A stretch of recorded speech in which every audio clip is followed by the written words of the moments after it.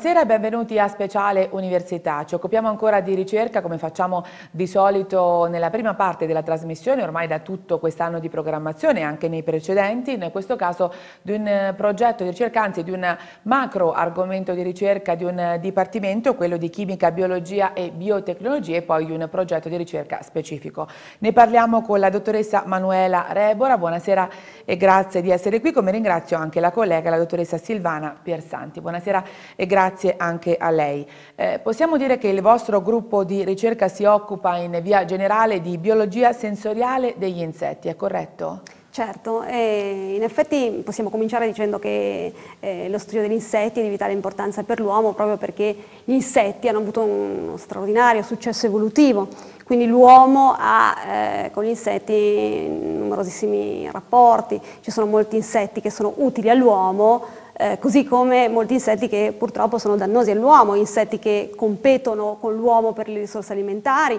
o che eh, magari sono vettori di, di gravi malattie, basta pensare alla malaria appunto.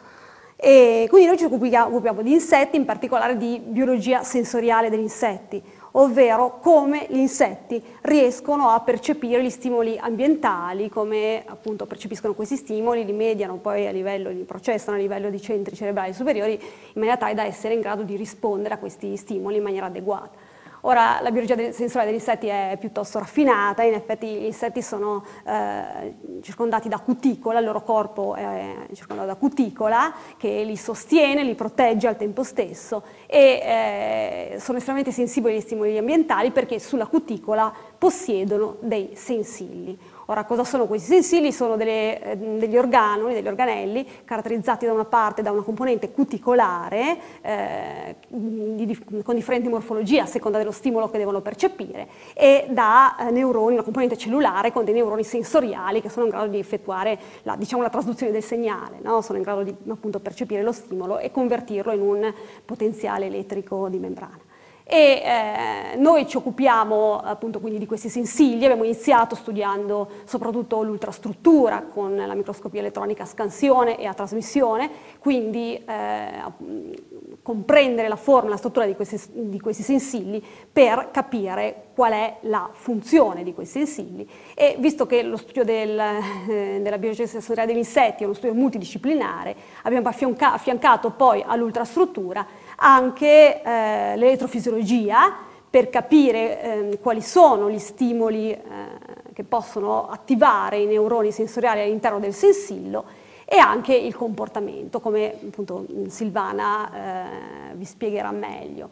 E, ehm, ehm, come si fatto... svolge il vostro lavoro, dottoressa? Cioè è un'osservazione microscopica di animali sì, oppure un'osservazione diciamo, sul campo? Come, come sì, si svolge? Allora, beh, sul campo c'è la raccolta del materiale. Degli, degli qualora? Sì, la raccolta cioè andate voi proprio? Sì, sì, certamente. Vabbè, questo è, è e, interessante. Certo, e, qualora gli insetti non siano allevati in laboratorio. Noi abbiamo certo. anche alcuni insetti che alleviamo in laboratorio per poter avere molto materiale su cui eh, lavorare. Quindi inizialmente li raccolli in campo, poi puoi anche allevarli qualora tu ne abbia bisogno, abbia bisogno di molti individui in condizioni particolari. Insomma.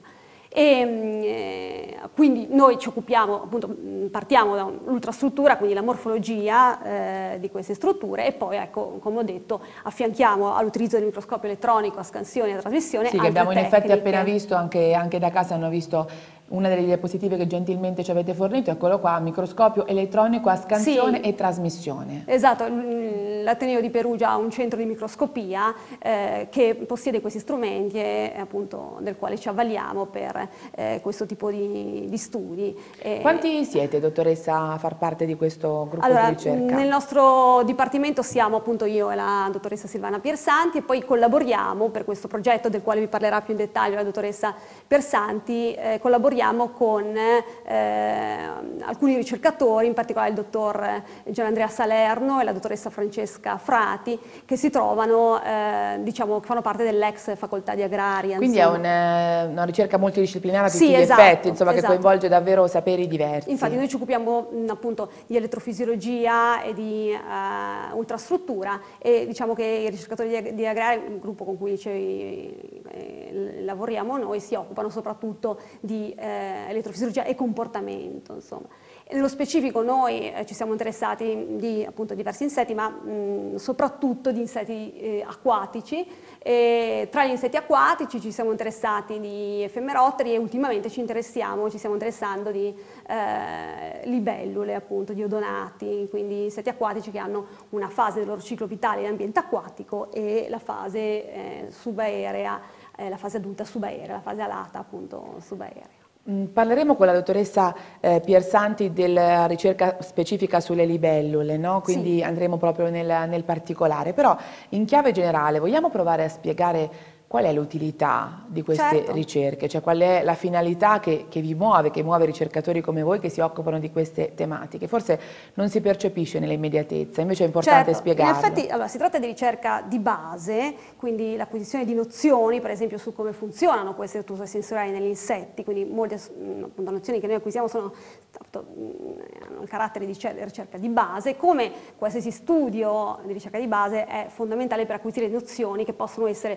poi utilizzate utilizzate nell'ambito applicativo. Poi se vogliamo, appunto, per quanto riguarda poi il discorso sugli insetti acquatici, ricordiamo come sia molto importante studiare questi, eh, questi insetti perché mh, per esempio sono un importantissimo anello della catena trofica, cioè hanno un ruolo ambientale importantissimo, sono un importante anello della catena trofica, sono, mh, le libellule per esempio sono importanti predatori e a loro volta possono essere preda di una gran quantità di... Eh, Quindi insomma ci si occupa in questo ecco. modo della catena della sì, natura sì, in qualche ecco. maniera. E poi no? Vabbè, diciamo che il discorso della, biologia, biologia, biologia, sensoriale degli insetti è importante conoscere i sistemi sensoriali degli insetti proprio per quel discorso che dicevo prima, per tutti i rapporti che ha l'uomo con gli insetti è importante conoscere, eh, sapere quali sono i meccanismi che permettono loro di ricevere determinati segnali proprio perché eh, ricordiamoci che ci sono appunto insetti che, eh, cioè, una, delle, malattie diciamo, più gravi che esistono, la malaria, è portata cioè, da insetti, no, quindi insomma è importante nostra, conoscerli sia sì, perché costituiscono... Anche la ricerca di base sugli insetti è estremamente importante. Parte dell'ambiente sia perché possono essere persino pericolosi per l'uomo, esatto, quindi conoscerli quindi può aiutare. La ricerca di base degli insetti è importante, poi ecco, per quanto riguarda il livello gli aspetti applicativi possono essere diversi, ecco prima ricordavo il discorso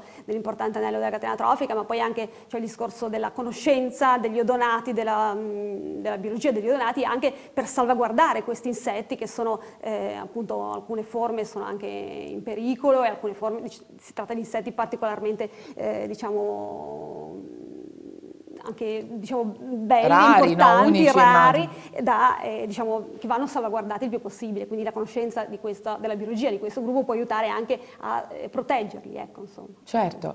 Eh, all'interno di questa macro area di ricerca c'è una ricerca specifica che riguarda le libellule.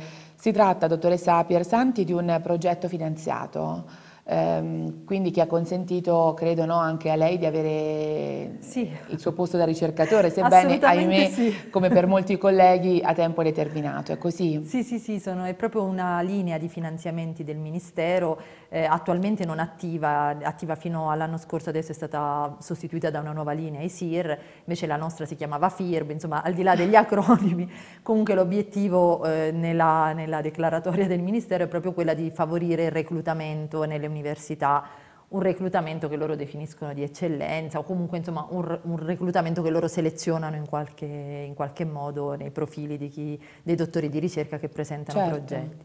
E quindi io ho presentato questo progetto in collaborazione con un'altra, con una collega che è stata da voi un po' di tempo fa, la dottoressa Frati, che anche lei appunto è un dottore di ricerca non strutturato nel, nell'Ateneo di Perugia. E quindi abbiamo deciso di mettere insieme le competenze di questi due gruppi, come spiegava la, la mia collega, le nostre competenze di morfologia e di elettrofisiologia, le loro competenze di elettrofisiologia e di eh, comportamento più legate nel caso loro ad insetti di interesse agrario perché appunto lavorano nell'ambito certo. agrario, mentre noi ci occupiamo di insetti con un interesse più magari di tipo filogenetico, ambientale, legati agli, agli ambienti acquatici. Lei ci ha portato, dottoressa, scusi se la interrompo, sì, sì. ma lo volevo sottolineare, delle slides eh, bellissime, con delle immagini molto mm. molto belle sì. e, e mh, mm, le stiamo vedendo scorrere in effetti perché il vostro progetto nello specifico riguarda le libellule, l'ha un po' anticipato anche la collega, riguarda le libellule. Sì, perché da un po' di anni eh, in realtà eh, lavoriamo molto sulla biologia, abbiamo iniziato a lavorare sulla biologia sensoriale delle libellule e poi ci, abbiamo continuato a farlo perché sono degli insetti veramente affascinanti. E nello specifico, partendo dal discorso di tipo morfologico e continuando col discorso elettrofisiologico, abbiamo eh, scoperto, tra virgolette, che, lì, che questi insetti, come la gran parte degli insetti, utilizzano l'olfatto mentre si pensava che usassero fondamentalmente solo la vista per, in, appunto per percepire l'ambiente circostante. Data questa acquisizione nuova, cercato, con questo progetto auspichiamo insomma, di riuscire a capire che cosa facciano poi le libellule con l'olfatto, cioè a quale aspetto della loro biologia serva, a cosa gli serva, se per percepire con specifici, predatori, le prede, eh, insomma quali siano, quale sia poi l'importanza a livello biologico certo. per la loro vita. Diciamo, questo ci fa capire che evidentemente la libellula, ma forse come anche altri insetti, è ancora un animale misterioso, no? quindi molto da studiare, da scoprire in qualche, in qualche modo. In realtà sì, da una parte gli insetti appunto sicuramente sono molto studiati, dall'altra insetti che non sono insetti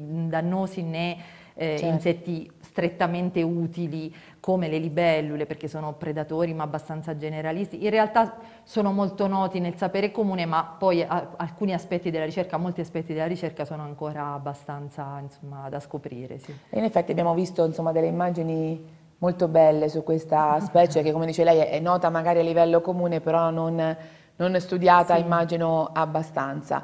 Eh, da quanto tempo vi occupate di, avete iniziato con questo progetto? Quali sono le prime osservazioni che avete condotto? Questo progetto eh, si è attivato nel 2011, in realtà 2012, diciamo settembre 2012, e ehm, diciamo è a metà del suo, del suo percorso. E, um, un risultato importante insomma, al quale siamo arrivati è la comprensione dell'implicazione dell'olfatto appunto nella predazione. Era uno degli aspetti che ci stava a cuore con, come obiettivo perché appunto sono importanti. Siete certo, nell'ambito della biologia sensoriale sì. naturalmente è, molto importante. Sì, poi nello specifico appunto il, in generale l'alimentazione ovviamente è un aspetto chiave della biologia di qualunque animale. Per le libellule, le libellule sono importanti predatori sia nella catena trofica, questo è un ruolo importante importante, eventualmente ci potrebbero essere anche potrebbero essere indagate in qualche maniera anche delle possibili ricadute applicative, pur essendo dei predatori molto generalisti, però ehm, diciamo, convivono con potenziali prede in ambienti acquatici come le zanzare, i chironomidi, quindi ci potrebbero essere anche delle implicazioni di utilità per l'uomo, quindi la predazione era un aspetto che ci stava a cuore e grazie a delle indagini appunto elettrofisiologiche e comportamentali su quella mh, specie Snura elegans che alleviamo in laboratorio come diceva la mia collega abbiamo visto che effettivamente loro si orientano verso la preda grazie all'odore che la preda emette quindi sicuramente la vista ha un ruolo importantissimo, però a fianco alla vista anche l'olfatto sembra avere insomma, la, sono il suo peso. i primi risultati di questa vostra Sì, quelli più importanti, insomma, poi per il resto stiamo ovviamente lavorando anche su altri aspetti, la riproduzione e altri aspetti insomma, di, di fisiologia anche e di osservazione insomma, della specie. Ehm, abbiamo visto scorrere, ripeto, molte, molte, immagini molto belle, molto interessanti, ma la libellula depressa, che, perdoni la, la curiosità, però l'ho vista come definizione non mi potevo esimere in chiusura di questa nostra conversazione dal chiederlo a degli esperti, a delle esperte come voi siete. Che cos'è la libellula depressa? In realtà, guardi, io ho lavorato su questa specie per tutto il dottorato e anche... E ancora se lo domanda Quindi questo? no, no. no. Quindi, ecco diciamo... qua, libellula depressa raccolta sì, in campo. È la nostra specie... bellissima, tra l'altro bellissima. È la nostra specie modello in realtà per una serie di ragioni legate soprattutto alla sua diffusione, facilità di raccolta, ecco, motivi di questo genere. Il motivo del nome è dato dall'addome depresso, cioè compresso dorso ventralmente. Ah, ecco, non, non è una questione con la psicologica. psicologica no. Però lei capisce insomma no, sì, che sì. Per, per, i profani, come sicuramente sono io, ma penso anche molti di coloro che ci ascoltano, insomma sì, era una curiosità eh, da, da, porre inevitabilmente. Rispetto ad altri odonati ha questo addome Quindi molto Quindi ha un addome, diciamo, particolarmente. cavo, insomma, in qualche modo con una cavità che fa parlare di depressa in qualche eh, modo più che altro è... proprio un po' schiacciato, un po' schiacciato. non cilindrico ma non ha a che fare con l'atteggiamento psicologico no, insomma. no, peraltro no. bellissimo, bellissimo esemplare insomma molto bello anche, anche da vedere con dei colori davvero belli eh, questa è la dimostrazione che insomma, chi non studia non, non, ne sa davvero abbastanza di questo argomento. Eh, continueremo a parlarne perché insomma, è uno dei filoni di ricerca che evidentemente stanno più a cuore al vostro dipartimento. Io intanto vi ringrazio molto per essere state con noi, ringrazio la dottoressa Manuela Rebora, la dottoressa Silvana Piersanti del Dipartimento, entrambe naturalmente del Dipartimento di Chimica, Biologia e Biotecnologie. Grazie ancora Grazie a, a tutte e due e proseguiamo la trasmissione con la rubrica consueta, l'Ateneo risponde, anzi quella l'avremo subito dopo, ora invece la bacheca dell'Ateneo con gli eventi della settimana per quanto riguarda conferenze, convegni, seminari e quant'altro, ma anche molti avvisi di utilità. Vi invito, eh, soprattutto se siete studenti, dell'Ateneo di Perugia ad ascoltare con attenzione un po' il sunto del bando di concorso per quanto riguarda appunto la mobilità con Erasmus+.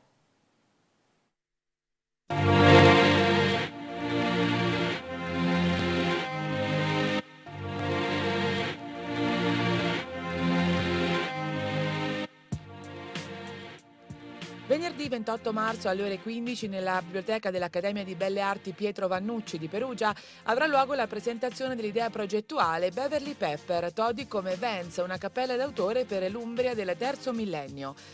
Sarà aperta dai saluti delle autorità Mario Rampini, presidente dell'Accademia Belle Arti, Vittorio Busella, presidente del Consiglio intercorso di laurea in ingegneria civile, Bruno Braccalente, presidente della Fondazione Perugia Assisi 2019 e Carlo Rossini, sindaco del comune di Todi.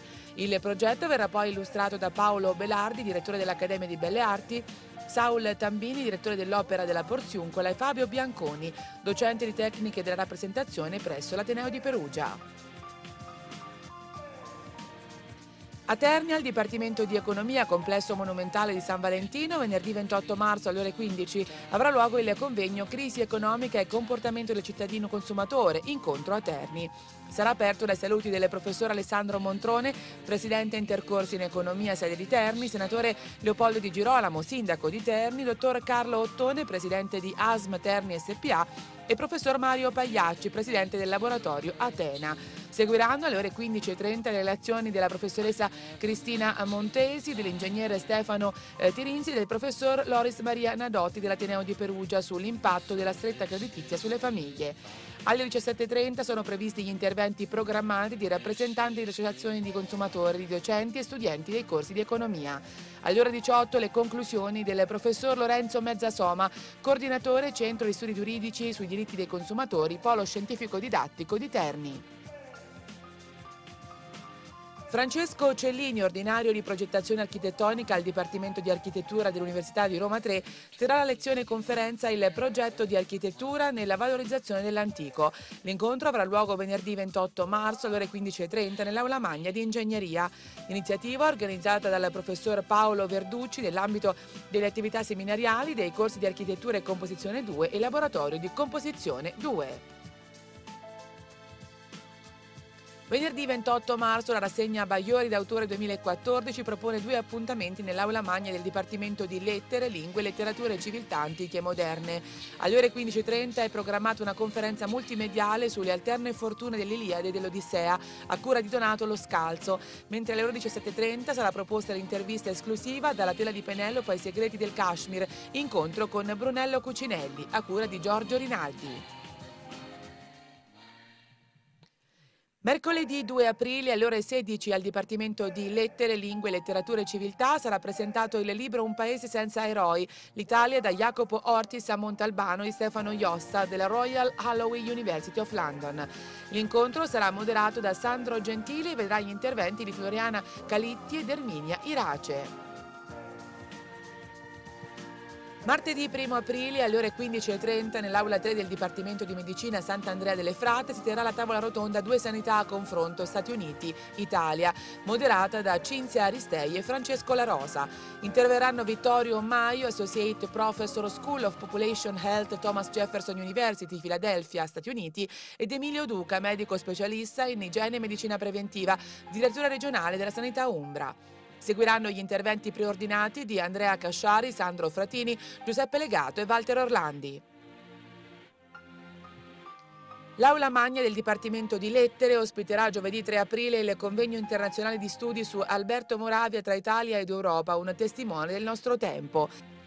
La sessione mattutina, presieduta da Sandro Gentili, sarà aperta alle ore 9.30 dai saluti delle autorità Franco Moriconi, rettore dell'Ateneo di Perugia, Andrea Cernicchi, assessore alla cultura e alle politiche sociali del Comune di Perugia e Mario Tosti, direttore del Dipartimento. Seguiranno le relazioni fra gli altri di Raffaele Manica e Roberto Barzanti.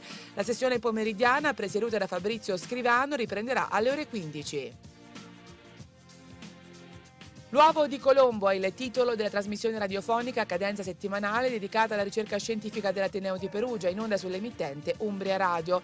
La puntata di giovedì 3 aprile dalle ore 19.05 vedrà la presenza della professoressa Maria Teresa Mandara, professore associato di patologia generale e anatomia veterinaria nel Dipartimento di Medicina Veterinaria.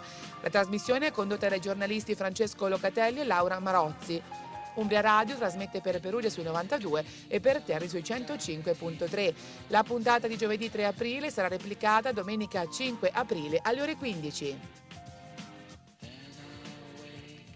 L'Ateneo di Perugia ha pubblicato l'avviso di selezione per l'attribuzione di borse di studio Erasmus Plus per la mobilità di studenti che consentiranno nel periodo 1 giugno-30 settembre 2015 periodi di studio all'estero da 3 a 12 mesi presso un istituto superiore di uno dei paesi partecipanti al programma.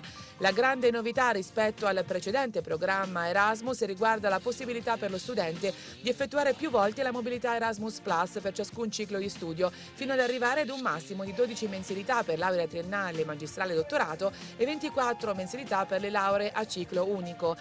La domanda di partecipazione potrà essere presentata a partire dal 18 marzo e dovrà essere compilata esclusivamente online tramite il collegamento all'indirizzo internet www.uri.unipg.it slash candidatura entro le ore 12 del giorno 7 aprile 2014. L'avviso completo è disponibile all'indirizzo internet www.uri.unipg.it. L'Ateneo di Perugia ha indetto una selezione pubblica per studenti che siano interessati a sei viaggi di studio in Brasile della durata di sei mesi ciascuno.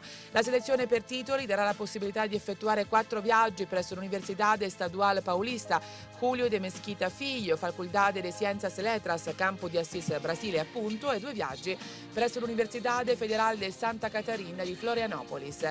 Fra i requisiti necessari l'iscrizione per l'anno accademico 2013-14 ad un corso di laurea o di primo livello di secondo livello o ad un corso di dottorato del Dipartimento di Lettere, Lingue, Letterature e Civiltà Antiche e Moderne dell'Ateneo di Perugia. Conoscenza della lingua portoghese, la media degli esami non inferiore a 24 trentesimi. Le domande di ammissione alla selezione nelle modalità previste dal bando devono pervenire all'Ateneo di Perugia entro le ore 13 del 24 aprile 2014. Il bando è pubblicato all'albo online dell'Ateneo all'indirizzo www.unipg.it. Confimi Impresa Umbria, Associazione Piccole e Medie Imprese dell'Umbria, mette a concorso un premio di laurea annuale intitolato al professor Massimo Paoli, già docente ordinario di Economia e Gestione delle Imprese ed Economia e Management dell'Innovazione presso la Facoltà di Economia dell'Ateneo di Perugia, da assegnare ad una tesi di laurea di dottorato avente ad oggetto le associazioni di categoria delle imprese. Quali prospettive per il futuro? L'importo del premio è pari a 1000 euro. Possono concorrere all'assegnazione i laureati e dottori di ricerca di università italiane che abbiano discusso le relative tesi non prima dell'anno 2013. Le domande di partecipazione redatte in carta semplice indirizzate a Mario Brustenga, presidente dell'Associazione Piccole e Medie Imprese dell'Umbria, via della scuola numero 118 06 135 Perugia, dovranno pervenire entro il 31 ottobre 2014.